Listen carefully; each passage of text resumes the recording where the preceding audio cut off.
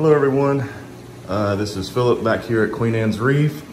Uh, we're gonna get back to working on the 310 gallon a day again. Um, got all the, as you guys can see, got all the sand put in. Uh, it's cleared up, just kind of the, the dusty edges that stick to the glass and everything, but the, the bio clarifier cleared it up pretty well. And uh, what we're gonna do today is we're gonna be installing these. Uh, just a security precaution, uh, just watching the water levels as it hits the sump.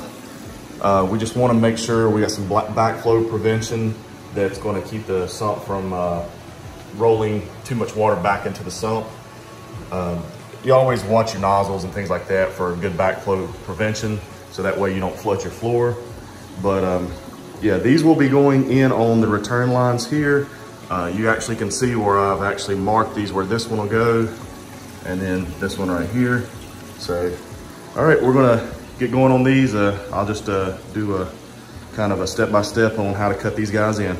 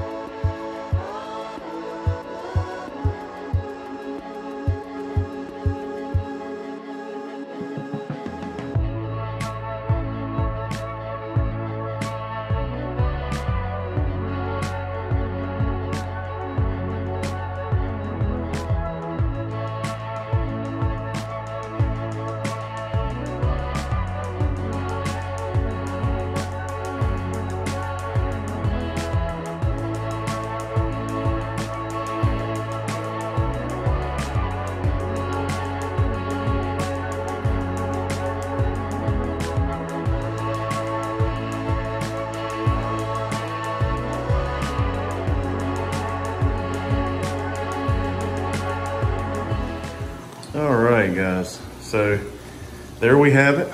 We've got the uh, the backflow preventers, the, check valves. They are installed.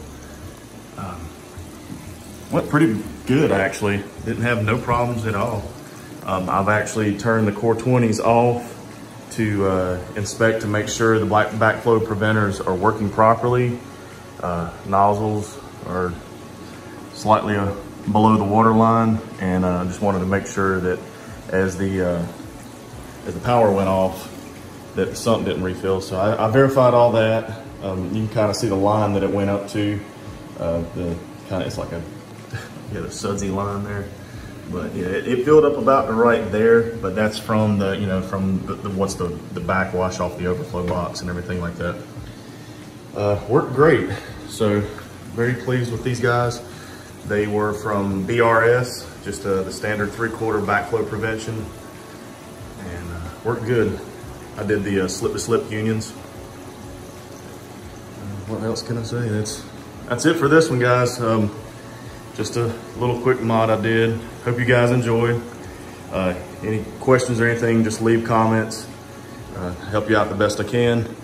Um, hope you guys are enjoying this build. It's been a fun build and everything, and uh, I know I've been kind of slow to release some of the material on and everything. Uh, just been busy with work and all, and trying to keep up. Oh, and by the way, I did get the uh, the auto top off container. It came in. So yeah, that's a, if I'm not mistaken, a 60, roughly 64 gallon auto top off container reservoir. Um, obviously it'll have the ATK on it later, but that's where it's gonna be sitting. Turned out really nice. Looks good. All right, you guys, I'm gonna call it for the day. Hope you guys enjoyed it. Uh, like, share, subscribe, and we'll see you guys next time.